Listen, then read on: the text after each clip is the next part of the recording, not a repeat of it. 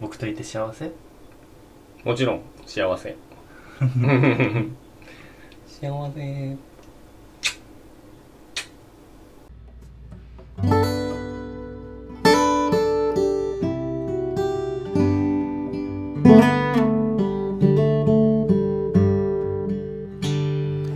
ハッピープライド。さあ、始まりました。少量チャンネル。翔太ですりょうです。少量です。今年の4月25日から5月6日まではレインボープライドウィークになっています。はい。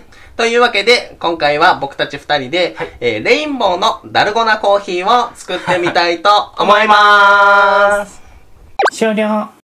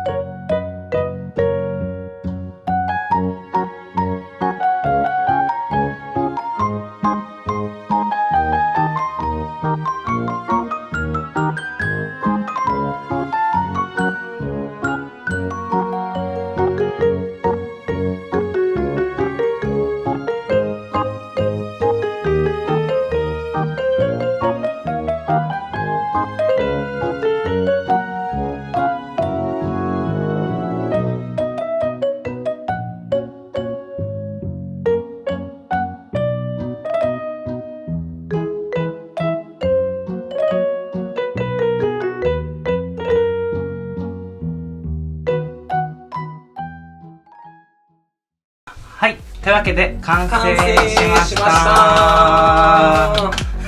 ちょっとね、失敗しちゃったんだけどね。で、もまあまあま可愛い色じゃない。あ、できました。はい。えー、ダルゴナコーヒーと言いながら、コーヒーは一切使っておりません、今回は。メレンゲにね、いろいろなフレーバーの、うん。あの、紅茶とか、なんたら、はい抹茶オレみたいなやつを入れて、うん。あと食紅でうん。色をつけてみました。あもっとね、メレンゲがふわふわだったら、そうだね、このグリーンが一番成功してる。味見してみる？うんしょうちゃんこれ一番うまくできた緑にしてみたら？うん抹茶味。うんこれはなちょっと青とか飲んでみようか。うんわ、すごい色。牛乳と混ぜたら。乾杯。美味しい美味しい、うん。あ美味しい？うん。よかったよかっすごく美味したい。うんいちごミルクの味がする。うん美味しいうん。ね。G。紫。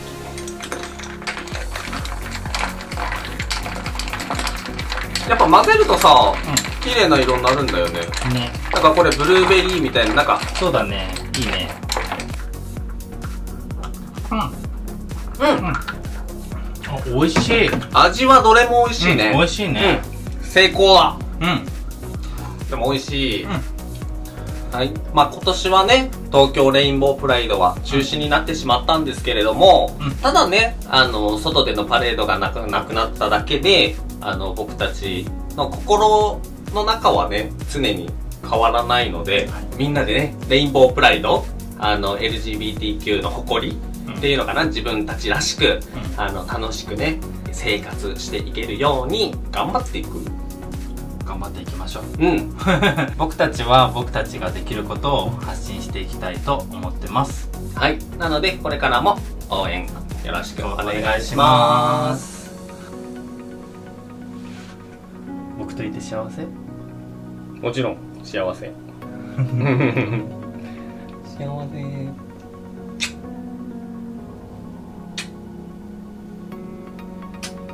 LGBTQ のね、活動を積極的にしてくれてる方々もい。て、まあその人たちにね、感謝しつつ、まあ僕たちができることもやっていきたいと思っています。で、えー僕たち自身もね、うん。ゲイに生まれたことを誇りに思ってるし、思ったようん、僕も翔太のことを誇りに思ってるし、僕も亮のことを誇りに思ってます。うん、差別のない偏見のない世界が、えーこれからもっともっとね引ってくれたらいいなって思ってます。はい。というわけで今回はダルゴナコーヒーをを。レインボーで作ってみました。いかがだったでしょうか？うん。今後 LGBTQ の活動を応援してくれるという方は高評価のボタンとはい、えー、たチャンネル登録をおよろしくお願いしまます。えー、インスタ、ツイッター、TikTok もやってます。お願いします。ではまた。はい。ハッピープハッピーライドプライド